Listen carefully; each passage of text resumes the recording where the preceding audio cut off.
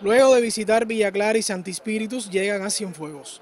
En esta primera ocasión en la Perla del Sur, muchas son las motivaciones para el encuentro. El arreciamiento del bloqueo contra Cuba durante el gobierno de Trump y que se ha mantenido durante el gobierno de Biden y que si bien eso fue malo, pero también trajo como consecuencia que norteamericanos y un grupo de emigrados cubanos de la emigración patriótica decidieran levantar la voz por el fin de las sanciones. Cubanos que más allá de credos e ideologías creen que es importante que se levanten las sanciones que castigan a la familia cubana, que se construyan puentes de amor, que se respete la soberanía nacional.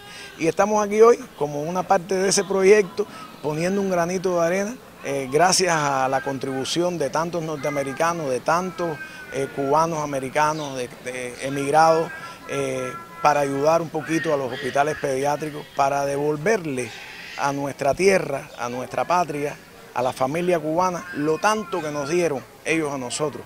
Bueno, acabamos de ver el hospital con eh, los médicos, las enfermeras, con tanta energía y vemos el hospital tan bonito eh, y el espíritu de la gente muy en alto y hemos visitado también en el ICAP y vimos a los niños cantando de lo más bonito, todo el mundo llorando de lo bonito que eh, canta ese grupo Abracadabra. 30 son los programas sociales que impulsa la caravana Puentes de Amor, ideas que con la única razón de asistir a personas e instituciones con productos de primera necesidad llegan hasta quienes agradecen.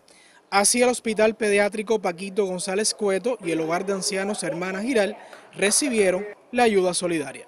Varios miles de, libras de leche en polvo, cerca de 30 mil pastillas de, de acetaminofén de estas que son para bajar la fiebre. Lo mismo aquí que en el Hospital eh, Pediátrico de Santa Clara, en el Hospital de Santi Espíritu y los mismos, junto con otros insumos médicos y otras cosas más que hemos podido traer. Mi grupo que se llama Code Pink, en español Código Rosado. Somos un grupo eh, con los líderes que son mujeres, pero abiertos, abiertos a todos.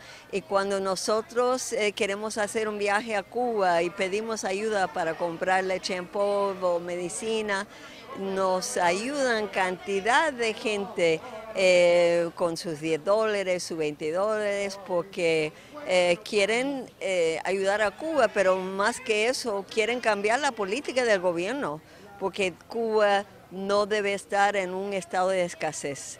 Realmente si no fuera bloqueo, eh, por el bloqueo yo creo que habrá muchas cosas para ayudar a los niños en el hospital, para mejorar la condición de la, alimentación aquí en Cuba. En 2018 Carlos Lazo crea el proyecto Fábrica de Sueños y en 2020 la caravana Puentes de Amor. Iniciativas que tienen como fin apoyar a la eliminación del bloqueo y que la ayuda solidaria cada vez sea mayor por parte de los cubanos residentes en Estados Unidos y de norteamericanos, esos que llevan y tienen presente a Cuba y su pueblo.